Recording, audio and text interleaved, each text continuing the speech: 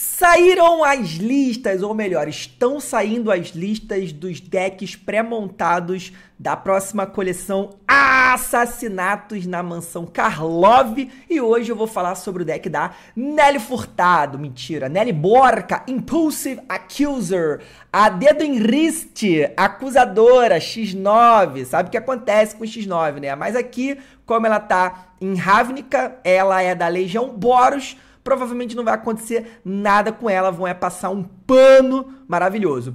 Meu objetivo com esses vídeos é fazer uma análise do deck sobre a minha ótica, tá, rapaziada? Uma ótica de um jogador que, cara, não é voltada para um, um, um, jogo mais competitivo de Commander, tá? Então vou analisar a questão das cartas novas, é, reprints, valor, etc e tal. E eu sei que sempre fica aquela pergunta, né? Tiago, vale a pena comprar um deck de Commander? Gente, simples, tá? É, é, eu sempre falo sobre isso. Se você não tem nenhum deck de Commander, quer comprar o seu primeiro deck, sempre bom analisar o estilo do jogo, o estilo do deck, né? As cores. Então, se esse deck tiver um estilo, vou falar sobre o estilo do deck, se tiver umas cores que interessam a você, cara, o, o Commander pré-montado é sempre uma ótima, um ótimo início para quem tá começando a jogar, principalmente porque se você for é, conhecer aí uma nova comunidade, novos jogadores, novos amigos, amigas, você tem como, a partir do Commander pré-montado, você ter um equilíbrio na mesa. Inclusive, estamos tendo aí, ó, essa semana é a última para inscrição, né, no pré-campeonato, primeiro campeonato do ano aí de Commander pré-montado do Diário Planalta. Esse vídeo tá, tá, saindo na quinta, provavelmente, e até a sexta, até 11h59 da sexta-feira, se encerram, né, as inscrições. Vão as inscrições. E a gente já tá com quase 40 pessoas inscritas. Se você quiser saber mais, tá tudo aqui, ó, no apoia.se barra Diário Planinalta, beleza? Então, ó, primeiramente, vou dar os parabéns aqui para Liga Magic, maior site, né, de marketplace de Magic do Brasil, porque Diferente da Wizards, se você entrar no site oficial da Wizards, provavelmente não vai ter lá, é, vai ter a lista, mas não vão ter todas as cartas. Aqui na Liga Média já tem todas. E eu, ao contrário de algumas últimas edições que eu fiz o review de todos os decks, dessa eu vou fazer review um por um, até porque normalmente esses reviews ficam um pouco mais longos. E eu quero falar, eu gosto de falar com detalhe, tá, galera? Então, vamos analisar bem com detalhe, eu vou falar em minha opinião, caso a caso. Se você não tiver uma visão parecida com a minha, se você discordar de algum ponto, fique à vontade para botar nos comentários, até porque a galera nova que tá chegando também, né, no Magic, é, é bom ter visões diferentes, não só a minha, até porque eu não sou o dono da verdade, beleza? Falo muito sobre as coisas é, da minha ótica de experiência e também de gosto, né, galera? E lembrando também, obviamente, se você for fazer compra, pô, Thiago, vou entrar no site da Liga, vou ver qual loja que tá mais barata e vou comprar diretamente pela Liga para participar do sorteio mensal. Usa o cupom Planinalta, tá? Para você dobrar, o código Planinalta dobra seus cupons, todo mês a Liga realiza, né, sorteios a cada 100 reais você ganha um cupom, com o código Planinalta você dobra os cupons que você ganhar. Vamos começar falando sobre a Nelly Furtado aí, custo 424, vigilância. Um ponto aqui que eu já quero é, é, destacar é o seguinte: eu sou uma pessoa que eu não sou muito fã na, na minha vida, assim, como jogador de Magic, de Boros, assim, não é uma cor que me agrada muito, a não ser em limitado, né? Principalmente pré-release, draft. Normalmente eu gosto de montar decks mais agressivos, inclusive no draft de Ravnica remasterizada, a coleção que saiu no começo do ano agora, é, que traz só reprint. Eu montei um deck Boros muito agressivo e consegui fazer um 3-0 e ganhar, né? Ser o campeão lá na Epic, que teve o evento. Se você não viu, tem um vlogzinho aqui no canal mostrando como foi esse evento, beleza? Então, assim, eu não sou fã de Boros na, como um todo no, no gameplay de Magic, mas em alguns pontos eu gosto. Tanto que é, eu já tentei montar vários decks Boros, eu já tive vários decks pré-montados Boros, e hoje só tem dois decks na minha coleção que eu gosto muito, tá? Que é o Ojir, que não é um deck agressivo, é um deck que joga com artefatos e, enfim, sacrifício de artefatos, traz artefatos cemitério para pro campo, e eu adoro essa mecânica desse deck. E o segundo deck que eu tenho é o deck da Neyali, eu falei muito sobre esse deck ao longo do último ano, porque é um deck que me surpreendeu, saiu no começo do ano passado, e ele vem com uma proposta que é uma, assim, uma proposta de ser agro, de botar bastante ficha na mesa, de bater, só que ele é um deck extremamente resiliente e um deck muito bom em card vantage, por isso esse deck me, me ganhou muito fortemente, tá? Esse deck aqui, ele vem com uma proposta que a, a ideia principal, o core do deck, é ser um, um, um deck diferente também, é ter uma novidade, né? Até porque ele vai trazer aqui uma mecânica da coleção nova, tá? E, obviamente, como é um pré-montado, ele vai trazer um outro aspecto de mais é, batido do Magic, digamos assim, que eu vou falar para vocês. Só que, como um todo, a princípio, eu gosto da iniciativa desse deck trazer uma mecânica nova. E uma mecânica antiga também, né? Que não é tão velha, é recente, mas já é uma mecânica conhecida da, da galera que já joga aí há mais de 2, 3 anos é, Commander. É o seguinte, ela é, vi primeiro, vigilância 2-4. Ela não... Dá para notar que pelo corpo, acho que a ideia aqui é muito mais você conseguir atacar sem perder ela, porque ela, é, ela não ataca tão bem, só dois de ataque, mas ela tem uma boa resistência e ela tem a vigilância, justamente para você não precisar deixar ela virada, então ela consegue atacar e defender bem ali no começo do jogo. Toda vez que ela ataca, então você quer atacar com a sua comandante, é, você suspeita a criatura alvo. Essa é a habilidade nova, suspeitar. Quando você suspeita uma criatura, ela pode ser a sua ou dos oponentes, a criatura ela vai ganhar ameaçar, só pode ser bloqueada por duas ou mais criaturas, e não pode bloquear. Ou seja, se é uma criatura do oponente, você meio que desliga o bloqueio dele. Então, se o oponente tem uma criatura só e você está atacando ele, a Nelly, você garante que a Nelly não vai ser bloqueada. Se é uma criatura sua, é, você meio que dá uma, dá uma chance, né? Dá um jeito dela ser mais difícil de ser bloqueada, porque o ameaçar o oponente vai precisar de duas ou mais.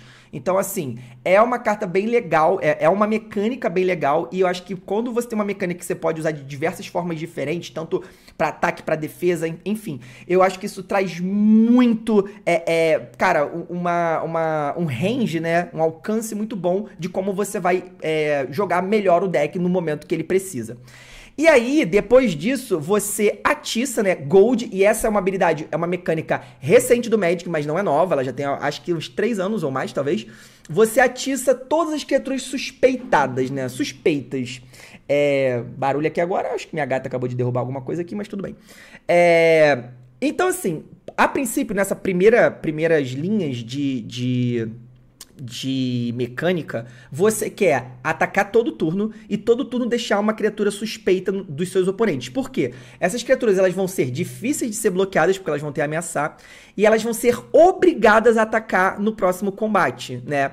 Então, assim, é, é, é, uma, é uma carta que tá propondo jogo. Isso é muito bom, porque eu gosto de Commander que se propõe a jogar, que a gente tem ataque, tem turnos, tem criatura, tem gente se batendo o tempo todo. Às vezes é chato quando a gente tá jogando, pelo menos para mim, quando a gente tá jogando jogo, que é aquele jogo de mana vai, mana vai, faz um negócio no passe, ninguém ataca ninguém, fica ali tipo meia hora de jogo, uma hora de jogo e todo mundo com 40 de vida, sabe?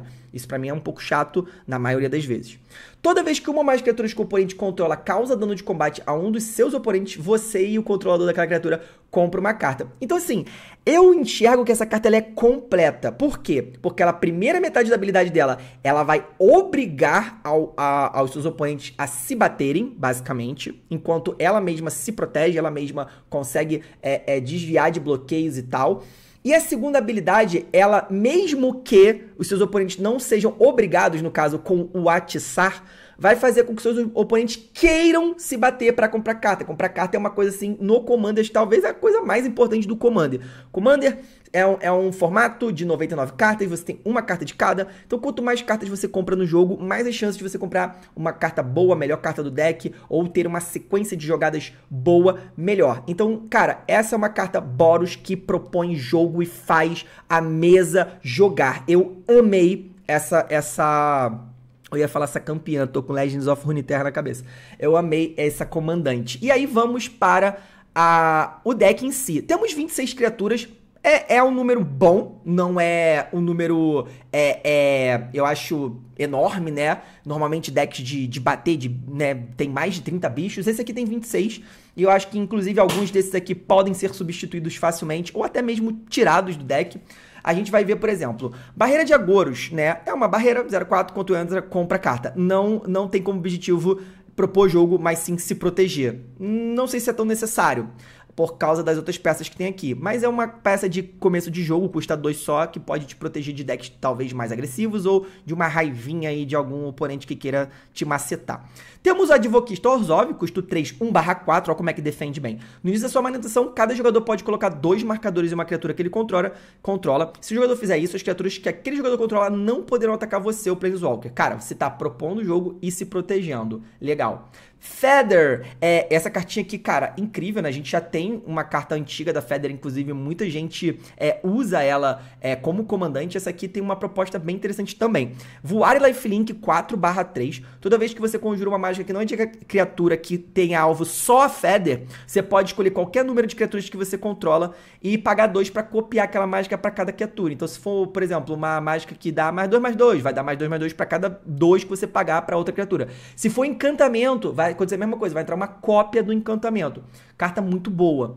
É, e é uma carta nova, tá? ainda tá sem preço aqui na liga, beleza? Então, por exemplo, esse, esse deck tá, tá aqui saindo agora por 362, mas obviamente o valor dele vai aumentar, porque as cartas novas não tem preço ainda.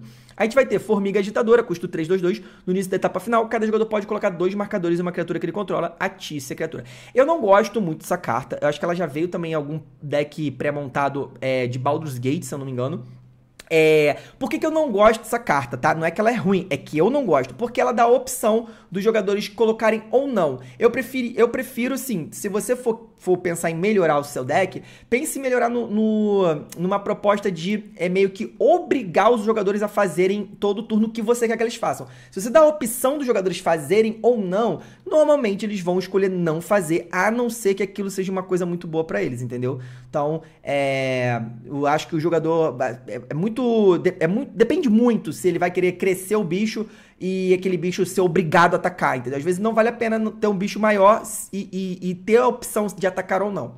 Temos aí a Leonina Espreita. Essa é uma carta que eu vou explicar por que eu não gosto, tá? Quando ela entra em campo de batalha, você escolhe um oponente secretamente. Não acho uma carta ruim, mas eu não gosto. Revela o jogador que você escolheu, você pode fazer isso a qualquer momento, e você exila a criatura alvo que, você tá, que tá te atacando se ela for controlada pelo jogador escolhido. Por que, que eu não gosto dela é, all, assim? Porque, cara, você não vai querer fazer, por exemplo, no começo, na 3, você vai querer só baixar ela no momento pra, muito crucial do jogo para se proteger. E esse momento ele pode nunca chegar. E às vezes você vai querer baixar ela, vai escolher um jogador e o jogo se desenvolve e aquele jogador acaba perdendo a vantagem que ele tem na mesa e outros jogadores se tornam ameaça. Então ela é uma carta que ela em situações muito específicas ela pode ser muito boa, porém é muito melhor de repente você ter novamente uma carta que você sabe. Vou dar um exemplo que eu, eu nem sei se tem nesse deck, tá? Mas por exemplo, ah, eu trocaria a Leonina por um Path to Exile, por, um, por uma remoção pontual. Por quê, Thiago? Porque você tendo a remoção pontual na mão, você escolhe escolhe qual momento você quer usar e qualquer jogador, sabe? Tipo, qualquer, qualquer uma que for ameaça da hora. Se você escolheu o jogador errado com essa carta, você simplesmente meio que perdeu ela. Loranda Terceira Via, ela é uma carta maravilhosa, uma carta que eu estou jogando no T2 agora. Ela entra, destrói um artefato ou encantamento, você vira e o oponente alvo compra uma carta. Ela tem a primeira habilidade dela, que é muito boa, porque, cara, no Commander você sempre vai fazer ela entrar e quebrar alguma coisa. Então você pode dar uma segurada nela um tempinho aí pra, quebrar alguma, algum encantamento mais relevante pro meio, pro fim do jogo. Ou você pode fazer ela logo no começo do jogo, quebrar um Sol Ring, quebrar alguma coisa que esteja, uma pedra de mana que esteja acelerando o jogo dos seus oponentes. E aí, cara, no Commander, ela, é, essa habilidade do você, oponente alvo, compra uma carta, no, no X1, ela é uma, uma habilidade meio traiçoeira, né? Porque você acaba tendo card de vantagem, mas dá card de vantagem pro oponente. Só que no Commander são quatro pessoas, né? Então você vai dar card de vantagem só pra metade da mesa e uma delas é você. Você pode escolher o jogador que estiver mais para trás no jogo. Então ela é uma carta bem legal. É, Boros Reckoner, eu ia falar Víndice dos Boros, mas nunca vi o nome dessa carta em português, eu sempre conheci como Boros Reckoner. Custo 333. Quando ele recebe dano, ele causa aquela quantidade a criatura alvo ou jogador alvo. E você paga uma vermelha ou branca, ele ganha iniciativa. Essa eu acho ótima, tá? Esse tipo de coisa nesse deck aqui, eu acho que cai muito bem, né? Esse negócio de redirecionar dano e, tá dando dano o tempo, tempo todo. Você vai estar tá obrigando os oponentes a se baterem, você vai estar tá batendo e você vai estar tá dobrando, vai estar tá aumentando os, os danos o tempo todo. Ancestral Vingativo, custo 434 voar. Toda vez que ele entra em campo de batalha ou ataca, você atiça a criatura alvo. Bom, é o que o nosso deck quer fazer. Toda vez que uma criatura atiçada ataca, ela causa 1 um de dano é, ao próprio controlador. Ótimo, muito boa carta.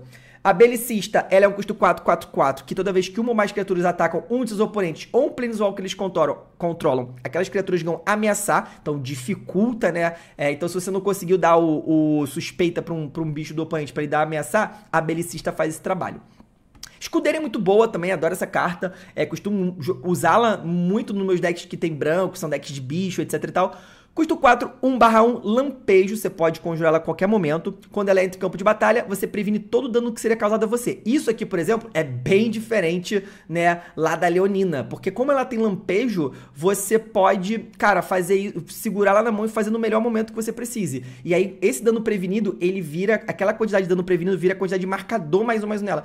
Então, assim, a chance, às vezes, dela ganhar um jogo para você é incrível. Quando chega no final do jogo e aí é aquele tudo ou nada, fica num x1, seu oponente bate com tudo você previne na volta, você bate com ela e ganha o jogo. Cara, essa carta eu adoro. Guardião do Acordo é absurdo, muito bom. Custo 434. No início da etapa final de cada oponente, se aquele jogador controla mais criatura que você, você cria uma ficha 1 barra 1. E se ele controla mais terreno, você pode procurar uma planície básica, colocar em campo de batalha embaralhar o deck. Adoro essa carta. Musa na cidade do, do vento, custo 4, 2, 3. As criaturas não podem atacá-lo a menos que seu controlador pague 2 para cada criatura que você está atacando você. Aqui a gente começa a ver que esse deck também tem um pouco de uma, de uma ideia de quase, quase um Texas, né? Uma coisa para dificultar. A gente vai ter outras peças aqui nesse deck, eu vou falar sobre isso mais para frente, das outras, mas uma coisa de dificultar que seus oponentes te ataquem também. Não sei se tem necessidade, não sei se tem necessidade, mas ruim não é. Por que, que eu digo não sei se tem necessidade? Porque às vezes você tá, vai estar tá tão pra frente assim, querendo bater e fazendo os oponentes se baterem, é, atiçando o tempo todo, que aí eles não vão estar tá nem podendo te bater. Mas tudo bem, não é ruim. É, Aí esse aqui é uma carta nova, né? Other, Otherworldly Escort. É aquele carro velho, né? Escort. Carro antigo. Carro velho não, carro antigo. Custo 443 Flash, né? Lampejo. Quando ele morre, se ele não é um espírito, você devolve pro campo de batalha, sob o controle do seu dono, com quatro marcadores de carga nele, e ele vira um espírito. Aí você pode pagar dois, virar, remover o marcador de carga e destruir a criatura que causou dano a você esse turno. Eu gostei, tá?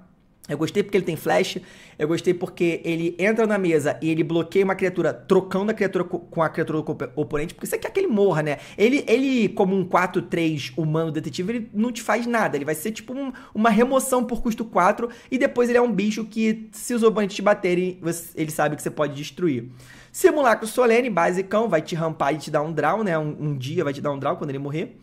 Anya, custo 544, voar. Ela ganha mais 3, mais 3 para cada oponente que tem metade da vida, né? Metade da vida inicial. E enquanto o oponente tiver metade da vida inicial, ela tem indestrutível. Cara, olha, é um custo 5 que potencialmente. É, ela ganha mais 3, mais 3 para cada oponente, né? Esse é, é. E, e ela, ela pode ser uma potencial, né? Sei lá, 7-7, 10-10, indestrutível, por custo 5 mas eu acho que é só um pedaço de carne na mesa, assim, minha opinião. Então, às vezes, é, às vezes é uma peça que daria para remover para colocar algo que propõe mais jogo.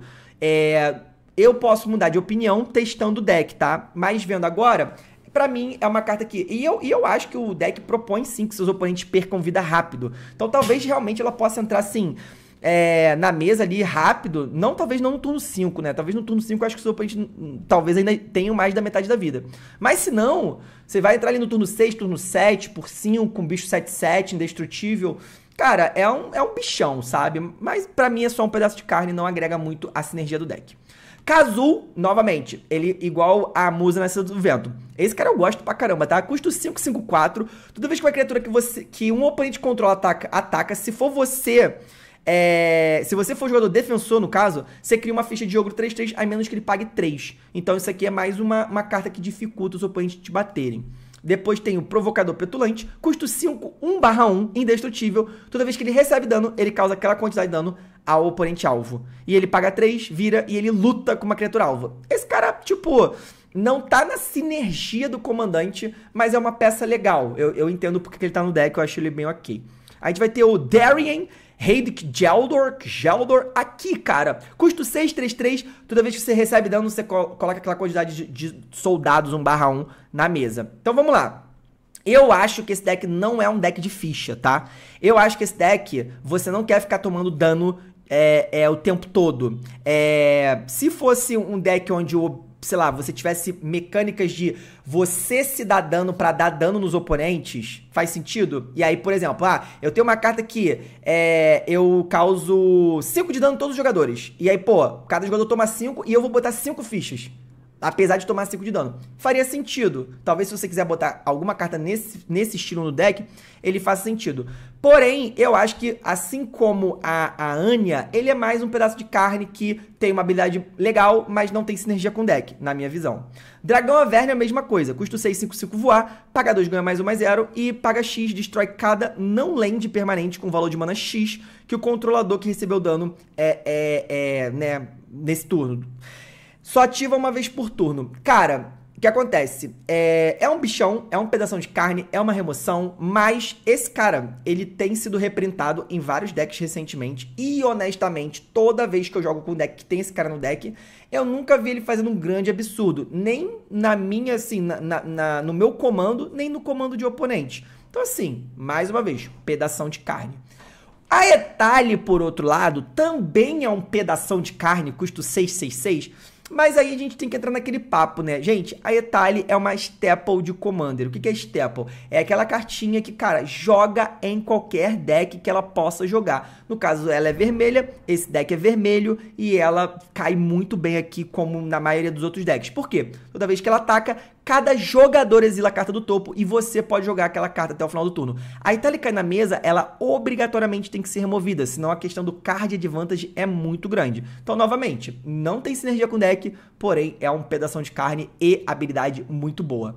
A gente vai ter o Duo, tá? Eu não entendi, é, eu não entendi se essa carta é uma carta nova, ela tá com zero reais. Só que aqui ela tá com uma arte antiga, né? Enfim. Ela custa 6, é um 5-5 iniciativa. Se uma fonte fosse causar dano a um oponente, ela causa o dobro. Ó, você tá batendo os oponentes, seus oponentes estão se batendo. Então, assim, esse tipo de coisa é que eu acho que sinergiza bem com o deck esse tipo de coisa. Então, botar coisas que dobram, que aumentam o dano, que propõem né, seus oponentes irem perdendo vida rápido, eu gosto. Titã de Sol, cara, Sun Titan, mais uma. É mesmo, mesmo papo da Etália, só que no caso, branco. É um, é um, é um pedação de carne e habilidade. Quando entra, volta uma permanente custo 3 ou menos do cemitério pro campo. E quando ataca, também faz isso. Maravilhoso. Ah, Thiago, pô, tô cansado de repente de Titã do Sol. Cara, eu, eu também, mas é uma, é uma carta boa, eu não tiraria desse deck. Anjo da Ruína, eu adoro essa carta. Por quê? Você pode reciclar ela, né? Você pode pagar dois, descartar e buscar por uma planície colocar na sua mão. É, então, no começo do jogo, se você tiver ali meio mal das pernas de, de terreno, você pode usar ela, né, pra buscar o terreno. Mas num late game, ela é um custo 7, 5, 7 voar, que quando entra em campo de batalha, você exila até dois artefatos e ou encantamentos alvo. E é, cara, exílio é, é lindo, tá? E ele é um 5-7 voar. Mais um pedaço de carne, não tem sinergia com o deck, mas é muito boa.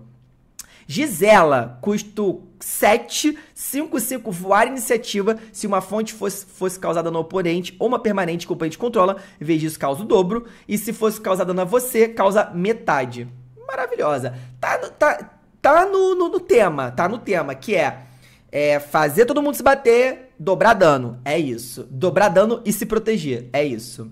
Havoc Eater, esse é novo, tá? Custo 7, 3, 3 voar. Quando ele entra em campo de batalha, para cada oponente você atiça até uma criatura que o oponente controla. Você coloca X marcadores mais um mais um nele, onde X é o total de poder das criaturas atiçadas dessa forma. Cara, forte. É... Podia ter um ímpeto. Talvez se com ímpeto ficasse um pouco roubada, né? Mas Acho que, pô, seria bonito. E aqui, custo 10, 12, 12 flash. Essa mágica custa um a menos para cada criatura atacante. Atropelar. Quando ele morre, você cria um 6, 12 com atropelar. Cara, assim, honestamente, eu não tenho muito a tecer sobre esse cara. Acho que é um pedaço de carne, igual várias outras cartas, mas que nesse deck, diferente de algumas outras, eu não acho essa habilidade tão incrível, tá? É, enfim, uh, é uma carta que provavelmente eu pensaria em tirar para colocar. Pô, pensei numa lista aqui de 10 cartas maneiras que deixaria esse deck muito melhor. Putz, o Ancient, né, o Ancient Stone Idol provavelmente seria uma delas que sairiam. Aí a gente ter um Planeswalker muito legal, adoro essa Elspeth, tá? Mais um, você cria três soldados, Menos 3, você destrói todas as criaturas com poder 4 ou mais. E o menos 7, você ganha um emblema que as criaturas que você controla tem mais 2, mais 2 e voar. Ela é completinha, ela é o Planeswalker, é a Planeswalker que eu adoro, sabe? Depois de uma global, você faz ela e você refaz a sua mesa fácil. Se, se a mesa tá muito perigosa, se tá com bichos pequenininhos, você consegue dar uma global. E se ela ficar na mesa por muito tempo, mais do que deveria, você ganha uma ult que é devastadora, muito forte. Eu adoro ela. A gente tem 12 mágicas só. E aí eu já posso ver aqui que não tem é, Path to Exile, Espada em Arados, que são cartas bem comuns de se vir em decks Boros. Cara, remoção né, pontual boa. Então a gente vai ter Sacrifício de Gideon, escolha uma criatura ou Planeswalker que você controla, todo dano que será causado nesse turno a você as permanentes vai ser causado a, a, a permanente escolhida. Pode ser uma boa para redirecionar pro Petulante, por exemplo. Ou aquele outro, esse cara aqui, né? Uh, ou esse cara aqui também. É. Bom, não tiraria. Eu acho que faz sentido no deck. Embate espetacular. É, custo 2, coloca o marcador de Double Strike na criatura alvo e aí atiça cada criatura que tem uh, o marcador Double Strike. Só que a graça disso aqui é pagar pelo Overload. Custo 7, você faz isso com todas as criaturas. Então você, você substitui é, criatura alvo para, para it. Então, cada criatura na mesa vai ganhar golpe duplo e você atiça todas elas. Essa carta é maravilhosa nesse deck. Immortal Obligation, tá? Carta nova, custo 2, instantânea. Devolve uma criatura do, do, oponente, do cemitério do oponente pro campo de batalha sob o controle dele com o marcador de Duty. De. Duty é. Serviço não é.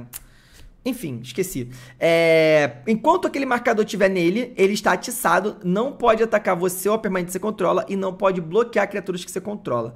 Olha, eu achei isso um, um pouco. É, é, é, como é que fala? É, redundante, né? É, é, é, é, atiçado. Se ela é atiçada, ela não pode atacar você. Ah, não. Se você for, se você for o último. Se bem que, se você for o último jogador contra o oponente, pra que, que você vai voltar ele pra mesa, né? Não faz sentido. Mas enfim, Deu para entender o que é isso. É voltar um bichão do oponente pro teu oponente continuar batendo, né, é, é, nos seus outros oponentes. Palma defletora. Na próxima vez que uma fonte da sua escolha for lhe causar dano nesse turno, previna tudo. Se o dano for previno dessa maneira, causará uma quantidade de dano ao controlador daquela fonte, tá? Bom demais. Reivindicação de Sevine. Caraca, essa carta era cara pra caramba. Era essa carta que era muito cara e agora ela tá esse preço? Ou talvez eu esteja ficando louco, tá? Mas eu tenho uma leve é, é, sei lá, uma leve impressão de que essa carta era muito cara. Custo 3, devolve card permanente com valor de mana 3 ou menos do cemitério para o campo de batalha. É, se essa mágica foi conjurada dentro do cemitério, você pode copiar a mágica e escolher um novo alvo. Ok. Não sei se nesse deck aqui ela é tão absurda, mas ela é ok. É, essa, esse nome aqui é maravilhoso. Cartinha de 34 reais, hein? Comeu Pance. Sim, comeu Pance. Uma instantânea de custo 4. Previne todo dano que será causado a você e Planeswalkers é, que você controla nesse turno pelas fontes que você não controla. Se dano que uma criatura é, é, foi prevenido dessa forma, ela causa aquela quantidade de dano àquela criatura. Se dano de uma não criatura foi prevenido dessa forma, ela causa aquela quantidade de dano ao controlador daquela fonte. Interessante. Interessante. Vocês já entenderam qual é o objetivo do deck, né? É redistribuir dano, é redirecionar dano, é fazer a vida dos seus oponentes o mais difícil possível para te atacar ou te causar dano, enquanto você tá fazendo eles se baterem, batendo neles, causando dano neles de alguma forma. Mob Verdict, custo 4, é feitiço. É, conselho secreto, tá? Cada jogador vota secretamente. Ó, essa aqui é nova também. Secretamente é, por outro jogador. E aí, os votos são revelados. Para cada voto que o oponente recebeu, ele causa 2 de dano naquele jogador e cada criatura que aquele jogador controla. E para cada voto que você recebeu, você compra uma carta. Maravilhosa. Quebrar o decoro, custo 4 feitiço, atice todas as criaturas que você não controla, tá? Ótimo. Take the Bait, né? Também carta nova, custo 4 instantânea. Conjura essa mágica somente durante o turno do o combate, né? De um oponente, tá? Somente no turno do oponente somente durante o combate. Previne todo o dano que seria causado a você e Planeswalkers que você controla esse turno. Desvira todas as criaturas atacantes, atiça elas e depois dessa fase tem uma fase adicional de combate. Gente, eu joguei esse final de semana, não, essa semana, com o deck de fadas, que tem uma carta azul que faz exatamente a mesma coisa. Essa carta é muito legal, muito legal, tá? Então ela não deixa que você abuse dela para fazer isso no seu turno e você bater e matar dois oponentes. mas ela faz com que você, cara, possa ficar batendo à vontade e aí quando os oponentes acham que vão te matar, você vai lá e redireciona o ataque e aí eles acabam sendo obrigados ou a, a perder as criaturas da mesa ou eliminar um outro jogador. Muito boa essa carta, tá? Prisoner Dilemma, é também uma carta nova, custa 5, feitiço. Cada oponente vota, é, escolhe secretamente por silêncio ou snitch. É, snitch eu acho que é bisbilhotar. Silêncio ou snitch. Silence or snitch. E aí, uh, a, as escolhas são reveladas. E para cada oponente que escolheu silêncio, essa carta causa 4 de dano a cada um deles. E a cada oponente que escolheu Snitch, ela causa 8 de dano a cada um. É, do contrário, ela causa 12 de dano a cada oponente que escolheu Silence. Vamos lá, vamos ler de novo, porque, né? Ela é o seguinte: cada oponente que escolheu silêncio é... recebe 4. Se cada exponente uh, se to, acho que é se todos os oponentes escolheram silêncio, ela causa 4. Se todos os oponentes escolheram snitch, ela causa 8. Do contrário, se não houve uma votação é, é, é, é, unânime, ela causa 12 de dano a cada oponente que escolher silêncio. Caraca, complicado, hein? Por quê? Porque é o seguinte, vamos supor, se todo mundo votar silêncio, Você, eles só vão receber quatro. Ué, mas aí. Quatro. Snitch. Twitch of. Pô, não faz sentido. Cara, não faz sentido. Porque, pô. Eu, eu, gente, provavelmente vou ter que trazer depois. É, alguém vai explicar melhor o aqui no. no enfim, no, nos comentários, tá? Mas cada oponente vota secretamente silêncio ou snitch. Se cada oponente escolheu silêncio, if each opponent chooses silence, Prisoner Dilemma deals 4 damage to each of them. Se cada oponente escolheu silêncio, ele causa 12 de dano cada um. Ah, se cada oponente escolheu Snitch, causa 8 de dano. E do contra... Qual, qual que é a ideia aqui, tá? A ideia é você... É... A ideia... Eu acho que é isso, tá? A ideia é você jogar com a maldade. Então, por exemplo, o certo, né? O ideal é todo mundo votar silêncio. Porque aí cada um vai tomar 4 só de dano. Então segue o jogo, pá. Só que pode ter um jogador que vai escolher é, é, Snitch, tá? E aí. Uh... E aí o que acontece? O jogador que escolheu Snitch, né? É, é, ele não vai receber dano. Por quê? Porque ele vai causar 12 a cada um que escolheu o, o, o silêncio.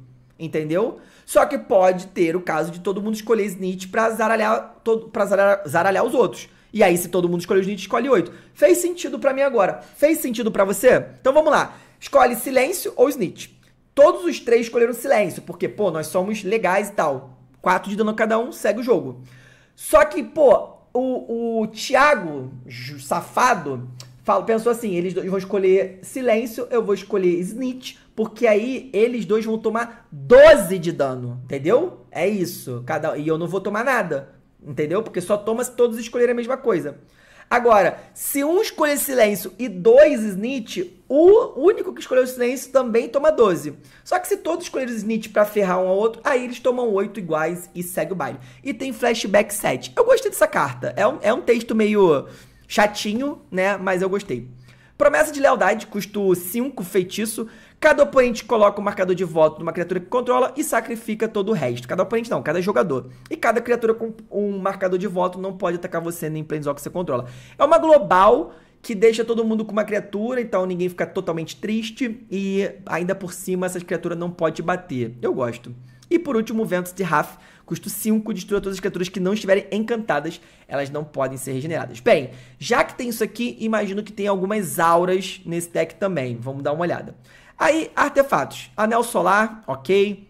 Ó, só um, um adendo, tá, galera? Essas artes aqui são normalmente as, as últimas artes lançadas. Então, por exemplo, ou lançadas ou enfim, da moda.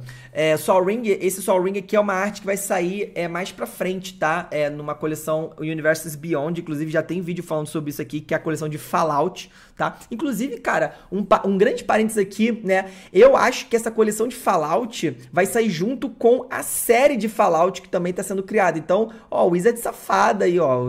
Quer dizer, safada não, esperta, né? Wizards, a, a produtora de Fallout, todo. É, se eu não me engano, é a Ubisoft, se não me engano, talvez todo mundo ali, junto com a galera que tá fazendo a, a série, que se não me engano acho que é no Prime ou HBO, sei lá, enfim. É, só um, um parênteses assim, porque me lembrei disso agora. Anel Solar, Ransom Note, né? Quando entra um campo de batalha, você dá Surveil 1, você olha do topo, pode botar no cemitério. Paga 2, sacrifica ela, escolhe um. É, Clo Cloak the Top Card of a Library. Eu não faço. Ah, é uma carta nova. Eu não faço a menor ideia do que Cloak, tá, galera? Teria que ver o que, que é isso. Gold Target Creature ou Draw a Card. Olha, eu. Isso é uma carta rara.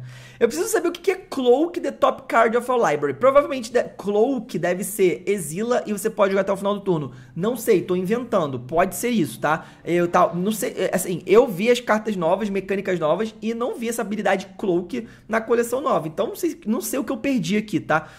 Provavelmente pro próximo vídeo aqui do próximo Commander eu já vou ter uma explicação para isso. Eu não gostei dessa carta ainda mais por ela ser uma carta rara, mas eu posso estar avaliando mal, tá? Vamos ver se no futuro eu mudo de opinião. Pedra Flower, Ramp, Lâmina... Cara, Lâmina é...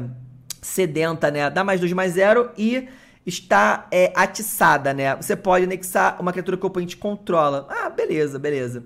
Pedra da Mente, mais um rampzinho. Receptáculo do Pensamento, né? Pra você comprar bastante carta, não precisa descartar. Sinestinho Arcano, Talismã da Convicção e Tomo das Lendas, que inclusive é um reprintzinho de 22 reais, ó. É, ele entra em campo de batalha com um marcador de página. Toda vez que seu commander entrar em campo de batalha, você coloca o marcador de página nele. E você pode pagar um virar, remover o marcador de página e comprar uma carta. Legal, ok. Aí vem os encantamentos agora, né? Armadilha para almas. Pagar um sacrifica, exila a criatura que estiver atacando você um prisão que você controla. Não gosto disso, não, não existe motivo Talvez eu esteja deixando passar alguma coisa, mas na minha visão não existe motivo para você ter uma remoção em forma de encantamento. Não é um deck de encantamento, deck não se preocupa com encantamento, e aí você pode tomar remoção nisso aqui tranquilamente, tá? Não, não entendi isso. Maldição da oponência já é legal, você encanta o jogador, e toda vez que o jogador for atacado, né, você e a, a pessoa que estiver atacando ele cria uma ficha de ouro. Ficha de ouro é basicamente uma ficha de tesouro com, com outro nome, né? Não tem o TES, basicamente. Uh, perseguição quente, ó, Hot Pursuit. O encantamento de custo 2, quando ele entra em campo de batalha, você suspeita a criatura alvo que o oponente controla. Enquanto estiver em campo de batalha, é... aquela criatura também está atiçada.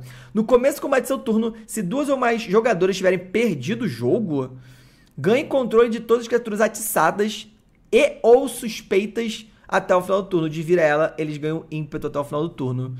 Cara, é quase uma... Putz, cara, que, que doideira. Que doideira. Eu gostei dessa carta, tá? Eu gostei dessa carta. Acho que nesse deck ela é bem boa.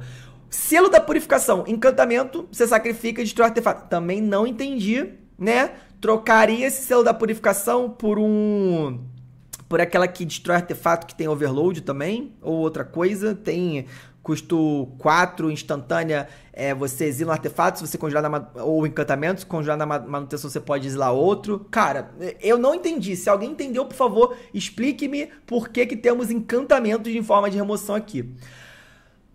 Ah, Thiago, por causa do Sun Titan. Pô, ainda acho uma ideia ruim, tá? Ainda acho uma ideia ruim você ter encantamentos por causa do Sun Titan. É isso. Prefiro tirar o Sun Titan e, e os encantamentos do que deixá-lo. Enfim, minha opinião. Shine Impetus, é, mais dois, mais dois, é, e a criatura atiçada. Toda vez que a criatura atacar, você cria um, um tesouro. Ótimo para dar para comandante dos seus oponentes. Ímpeto marcial, a mesma coisa, mais um, mais um, e, e gold, e atiça. Toda vez que a criatura atacar, cada outra criatura que está atacando um ou mais de seus oponentes, um dos seus oponentes ganha mais um, mais um até o final do turno. Herança do duelista, maravilhosa para dar golpe duplo. Prisão fantasmagórica, né? Mais uma cartinha para dificultar o ataque. Para cada criatura que estiver te atacando, o controle da criatura vai ter que pagar dois. Agora, isso aqui, ó, ó, ó, ó. Estou gostando, tem que falar, estou gostando dessa política da Wizard de reprintar cartinhas caras em commanders normais. Por quê? A gente viu isso agora no final do ano com o. Eu não achei os decks super é, é caros, não achei. É, apesar da gente ter errado o preço aqui no nossa, nossa review dos commanders do ano, né? Peço desculpa novamente por isso. Se você não viu, tem uma review com todos os decks do ano passado aqui no canal, hein? Mas elas trouxeram cada uma um bom reprint. Eu espero que essa aqui também faça isso, ajudando essas cartas a, a ficarem um pouquinho mais baratas e não deixando esses decks que são básicos de coleção, né, normal, padrão, ficarem caros também, tá? Ela é o seguinte: no início de cada etapa final, você compra uma carta para cada oponente que comprou dois ou mais cards nesse turno, e depois cria uma ficha de tesouro para cada oponente que dois ou mais terrenos entrarem em campo no próprio controle. Redemption Arc, o encantamento Aura, aí beleza, encantamento Aura. É, criatura tem indestrutível, está atiçada. E aí você paga dois, exila a criatura encantada. Isso aqui é sensacional. Isso daqui é sensacional. Tu vai colocar isso aqui na criatura do oponente, num comandante do oponente, sei lá. Ele vai ficar batendo o tempo todo, a criatura não vai morrer. E aí, a hora que ela tiver te dando problema, você paga dois exilar e acabou o problema. Isso aqui eu adorei, tá? Adorei. Voto do dever, custo, custo 3 também. É, pô, dá, dá, quase pode montar um deck de Zura aqui, de tanto encantamento custo 3 que tem, né? É, criatura encantada tem mais 2, mais 2, vigilância, não pode atacar você ou Planeswalker que você controla. Voto do relâmpago, mais 2, mais 2, iniciativa, não pode atacar você ou Planeswalker que você controla. É, Trouble in Pairs, né? É, encrenca em dobro, seria isso? né? Pokémon. Custo 4, equipe Rocket. Se um, se um oponente fosse comer. Nossa, isso aqui, rapaziada. Me mandaram. Me mandaram tá? Me mandaram no PV do, do WhatsApp, no, no privado do WhatsApp, moleque. Se um oponente fosse começar um turno extra, aquele oponente, aquele jogador pula aquele turno ao invés disso. Toda vez que o oponente ataca você com duas ou mais criaturas, compra sua segunda carta cada turno, ou conjura a segunda mágica cada turno, você compra uma carta. Cara, surreal, tá? Eu acho que isso aqui vai ser uma carta carinha de mais de 50 reais, eu acho, tá? Eu acho que vai ser. Eu amei essa carta. Rito da Tempestade Enfurecida, encantamento. Criaturas com nome raivoso relampejante não pode atacar você nem planeswalker que você controla. Nos dá manutenção de cada jogador, ele cria uma ficha elemental 5 com nome raivoso relampejante, repangalejante. Ela tem atropelar ímpeto no início da etapa final, sacrifica essa criatura. Ok, é, é isso, né? Paga 5, todo turno alguém vai ter um bicho 5-1 pra bater nos outros, é isso. É... É isso. Agora, é, ela não é obrigada a bater, né? Porque é uma filha criatura, ela tem atropelar ímpeto e sacrifica no final. Não é obrigada a bater. Então, não é como se o oponente, né, fosse realmente se bater. Eles podem entrar no acordo e não se bater. E aí, gente, base de mana aqui, bem honesta, tá? Bem humilde. Já me, já me já vejo aqui que não tem mais de 10 terrenos básicos de cada. Então, são 7 montanhas e 9 planícies. Então eles vão trazer bastante terreno não básico. Castelo de Arden veio para botar ficha. Ah, Thiago, não der deck de ficha. Pô, mas é um terreno utilitário. Desolação fumegante, né? É, pra você é, reciclar e pegar, comprar um, é, buscar um terreno básico. Fortaleza de quê? Pra botar, é, botar ficha também. Também é isso, cara. Enfim, não sei se isso aqui faz muito sentido no deck, mas. Fortaleza dos Matadores, aí é legal. Mais 2, mais 0, vigilância e ímpeto. Guarnição Boros, ok. Labirinto do Escofo, tira uma criatura atacante ou bloqueadora do, com, do, do combate, legal, para se proteger. Liame, uh, Morada do Sol, criatura alvo ganha golpe duplo até o final do turno, criatura alvo. Passagem de ladinho, passagem infinita, pico das agulhas, vira bicho, pomar erótico, salão de guerra para comprar carta, paga 3 e o quantidade de, de, de cor em, em, em, forma de vida, né? Aqui você vai basicamente pagar 3 de, de mana, virar ela, pagar 2 de vida e comprar uma carta. É bastante coisa para comprar carta, mas às vezes a gente precisa. Túnel de acesso, pagar 13 criatura alvo com poder igual ou inferior a 3 não pode ser bloqueada. Túnel de fuga, no, cartinha nova, tá? Sacrifica para procurar um terreno base sobre Grimório. Ou criatura alvo com poder inferior a 2 não pode ser bloqueada. Adorei, tá? É um, é, é um repente funcional com upgrades, né? Muito bom.